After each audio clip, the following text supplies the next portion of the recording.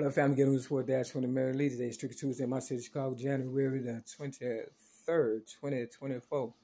Look, check this out.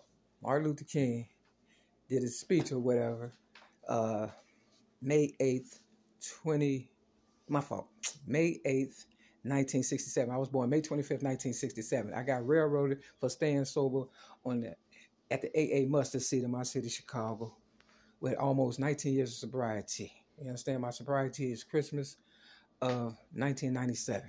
Okay?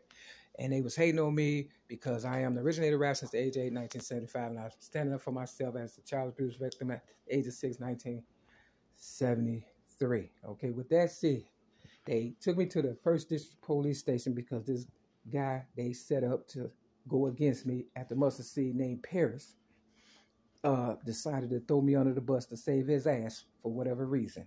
I don't know how much money they paid him, whatever it was. I guess it was enough to, you know, try to kill me. So they called the police and stuff, even though the AA mustard seed meeting and Alcoholics Anonymous is open to the public.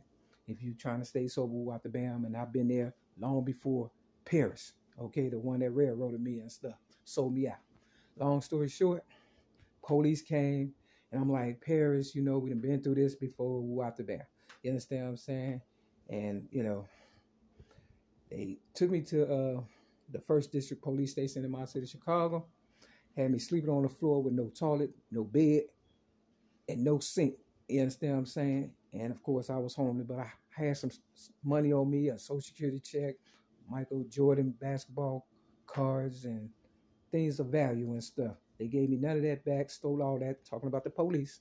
The next day, May 9th of 2016, they took me out that cell, put me in a regular cell, so when the people came, it wouldn't look like I was sleeping on the floor. Then they took me to the Cook County Jail, railroaded me some more, took me on the uh, psych ward at the Cook County Jail, held me down with 18, almost 19 years of sobriety, and stuck me with needles and gave me cancer. The Family Guy has a TV show that uh, talked about them having the cure to cancer. Okay, real talk, and it's other video, and I'll put it all in the description of this video, um, that came out 50 years ago, talked about what happened in 2016. These are the numbers that they given. Now remember, Martin Luther King, allegedly, you know what I'm saying, but it's documented, you know, gave a speech May 8th, the same month and day. And matter of fact, it was on Mother's Day in 2016, May 8th. And the year I was born, 1967. So obviously, either he was watching me come up as a little girl and realized that, you know, I was going to be somebody and they threw me under the bus and gave it to him because of whatever dealings he got with the Catholic Church. But I remember as a little girl, I was with Catholic Charities and I had a whole bunch of diseases and then they put me with DCFS, Department of Children and Family Services in my city, Chicago, not too far from where I'm residing at, 6210 South Kennebuck Avenue, Chicago, Noise 60637. That's where I'm at. But the um, Department of Children and Family Services on uh, 59th Street, not too far from me. Now, they want to label me crazy. I gave Oprah Winfrey my child abuse rap at the age of 17 in 1984. The Color Purple came out in 19. 85. She's still pimping my story, and that's why she's having so much bad luck and throwing people under the bus, trying to figure out who's a Mary McNamara and who it ain't, so they can, you know, I don't know, invest in prison because the rap is starting to, you know, fall apart or whatever and stuff, and they killing rappers for their money or whatever, just like they did people with the coronavirus and stuff. You understand what I'm saying?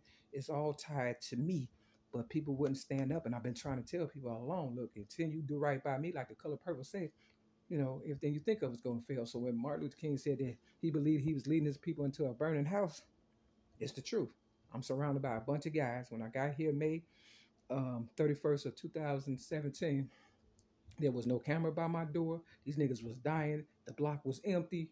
You understand what I'm saying? And now it's full. Cameras by the door. They watch me just like on the psych ward in my city, Chicago in 2016. They was watching me take a shower. I caught all that. I wrote so many grievances. I wrote a whole book called Liquid Hell. They got it. They just act as if, you know, you know, I'm crazy.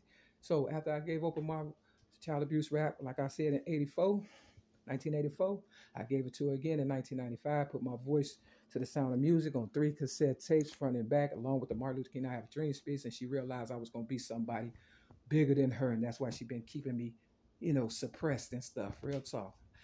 I didn't want a crazy check. They took me a psych ward or whatever and stuff in 1995, trying to label me crazy. I said, I don't want the crazy check. Yeah, I want my legacy. You understand what I'm saying? They said, You're not going to get out unless you sign off on this paperwork for the crazy check. And now, here we go, speed it up 2024. they trying to take my so called Social Security, AKA crazy check from me and stuff. They took my Social Security number that I've had on my letter, award letter, for 20 years. Since I've been here, they've, you know, shut things down, have people attack me, gang bangers, people, you know, coming into my, my room, violating, disrespecting me, invasion of privacy, all kind of shit. Just crazy. You understand what I'm saying? Real tough. So with that said, I'm just telling my Mary Malcolm Myers so you won't, you know, be confused as to what's going on. I've been trying to tell y'all all along. All you had to do was stand up, but you want to give it all to Martin Luther King, go right ahead.